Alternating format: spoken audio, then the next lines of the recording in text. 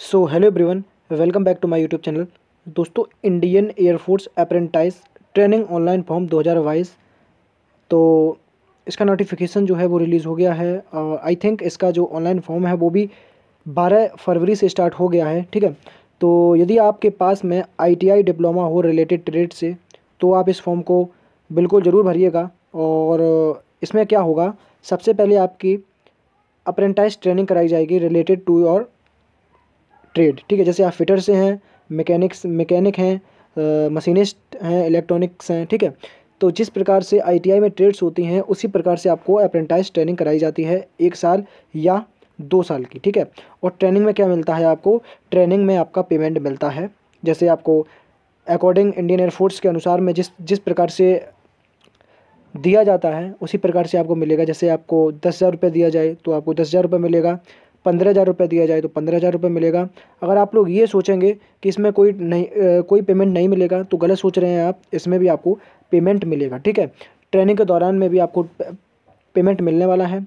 क्या sir training जब apprentice online form में मैं सिलेक्ट हो जाऊँगा, यानी कि ट्रेनिंग अप्रेंटाइज ट्रेनिंग के लिए मैं अलॉट हो जाऊँगा तो क्या मेरी सरकारी गवर्नमेंट जॉब लग जाएगी? तो फ्रेंड्स ऐसा कुछ नहीं है। आपको ये, जैसे आपने अगर आईटीआई करने के बाद कहीं प्राइवेट प्राइवेट से अप्रेंटाइज किया हो या कोई सरकारी ए, सरकारी संस्था से अप्रेंटाइज किया हो तो आप इस फॉर्म डायरेक्ट आप इसे अप्लाई करिएगा ठीक है? आप ये फॉर्म जो है वो अप्रेंटाइज करने वाले इस कैंडिडेट के लिए ही है। अगर आप कर चुके हैं अप्रेंटाइज तो आप इस फॉर्म को बिल्कुल भी मत भरना ठीक है? क्योंकि इसमें भी आपको अप्रेंटाइज कराया जाएगा रिलेटेड टू ट्रेड्स ठीक है? तो क्या होगा? जैसे आप आईटीआई कर चुके हो आई करने के बाद में आप किसी कंपनी में जाएँगे या अप्रेंटाइज आपको दो साल का या एक साल का अप्रेंटाइज कराया जाता है। अप्रेंटाइज का मतलब ये होता है कि आप जिस ट्रेड से आईटीआई किए हुए हो, उस ट्रेड के बारे में एंड उस ट्रेड से जितने भी वर्क होते हैं, उन्हें हम लोग किस प्रकार से करेंगे, उसकी ट्रेनिंग वहाँ पे आपको दी जाती है, ठीक है? तो आपको पहले से ही ट्रेनिंग है, अगर आप अप्रेंटाइज कर चुके हैं तो इसी प्रकार से इंडियन एयरफोर्स में भी अप्रेंटाइज के लिए ऑनलाइन फॉर्म आए हुए हैं। और अगर आपने अभी तक आईटीआई में आईटीआई नहीं है आपके पास तो आप इस फॉर्म को नहीं भर सकते हैं, ठीक है? और अगर आपने आईटीआई कर ली है तो आप इस फॉर्म को ज़रूर भरिएगा, ठीक है? और स्टार्ट हो गया है इसका ऑनलाइन फॉर्म तो देख लेते हैं। इसका एप्लीकेशन स्टार्ट हो गया है आपका अट्ठा एप्लीकेशन बिगिंग अट्ठाईस जनवरी 2022 से स्टार्ट हो गया था। और लास्ट डेट है आपकी 19 फरवरी, ठीक है? 19 फरवरी 2022 इसकी लास्ट डेट है फ्रेंड्स आप लोग ये भी बात याद रखिएगा। और ये जनवरी में 28 जनवरी को आ गया था। और लास्ट डेट 19 फरवरी है इसकी। और कंप्लीट फॉर्म लास्ट डेट आपकी 19 फरवरी है।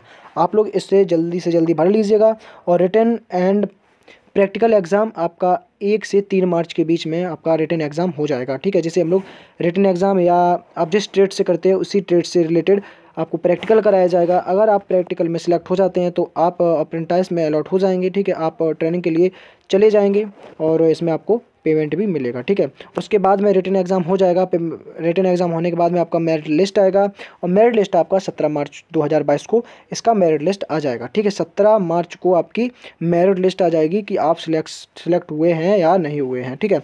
और आपका जो कोर्स है वो स्टार्ट हो जाएगा अप्रैल में। अप्रैल से आपका जो अप्रेंटाइज ट्रेनिंग है उसका कोर्स स्टार्ट हो जाएगा, ठीक है? तो बात ये अच्छी लगी है कि जनरल ओबीसी एंड ईडब्ल्यूएस वाले कैंडिडेट के लिए जो फ़ीस है वो ज़ीरो रुपये है, आपको एक भी रुपये देने नहीं पड़ेंगे। करेंगे इस फॉर्म को ऑनलाइन करने के लिए। चाहे वो जनरल हो, चाहे वो ओबीसी हो, चाहे वो ईडब्ल्यूएस हो, चाहे वो एससी या एसटी हो, या फ़िज़िकल हैंडीकैप हो, आप पर जो फ़ीस लगने वाली है वो ज़ीरो रुपये लगने वाली है, ठीक है?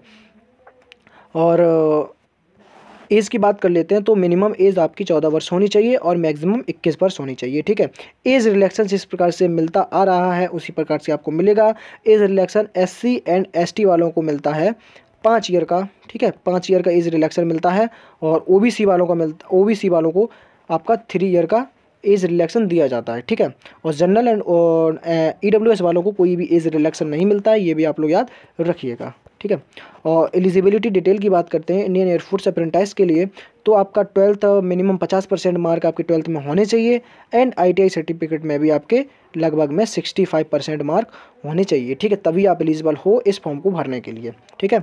और ट्रेड की बात कर लेते हैं, अगर आप पोस्ट है, अच्छी खासी पोस्ट है तो अस्सी पोस्ट है इसमें, और अगर ट्रेड की बात कर लेते हैं तो मशीनिस्ट है सीट मेटल है, वेल्डर, गैस एंड इलेक्ट है, उसके बाद मैकेनिक, रेडियो, रडार, एयरक्राफ्ट है, और कारपेंटर है, इलेक्ट्रीशियन है, और पेंटर है, प्लस फिटर है। ठीक है तो फिटर के लिए यहाँ पे छब्बीस वैकेंसी आई हुई है, और एक वैकेंसी है पेंटर जनरल के लिए, इलेक्ट्रीशियन के लिए इलेक्ट्रीशियन एयरक्राफ्ट के लिए चौबीस वैकेंसी है, कारपेंटर के लिए तीन वैकेंसी है, और मैकेनिक्स, रेडियो, रडार, एयरक्राफ्ट के लिए नौ वैकेंसी यहाँ पे आपकी होने वाली हैं, ठीक है? और वेल्डर गैस एंड इलेक्ट के लिए आपकी छः वैकेंसी है सीट मेटल के लिए सात वैकेंसी है। तो इसकी जो डिटेल है, वो मेरी टेलीग्राम ग्रुप पर मैंने इसका नोटिफिकेशन है, वो शेयर कर दिया है।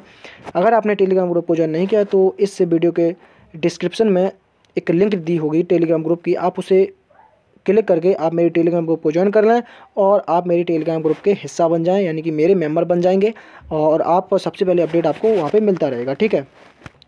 ठीक है? तो उसके बाद आप मैंने शेयर कर दिया तो आप लोग फुल जानकारी उस पर भी पढ़ सकते हैं ठीक है? और पर आप मैंने जो है जानकारी सफिशियंट बता दिया है। और यदि आपको कुछ समझ में नहीं आया हो तो कमेंट बॉक्स दिया जाता है इसीलिए तो आप कमेंट बॉक्स में कमेंट कर देना आपका जो क्वेश्चन रहेगा उसका आंसर आपको मिल जाएगा ठीक है? तो फ्रेंड्स आशा करता हूँ कि आपको वीडियो पसंद आया होगा। वीडियो पसंद आया, आया हो तो लाइक ज़रूर करके जाइएगा। और यदि आप चैनल पर नए हो तो चैनल को कर देना सब्सक्राइब ठीक है? तो फ्रेंड्स जय हिंद जय भारत वंदे मातरम।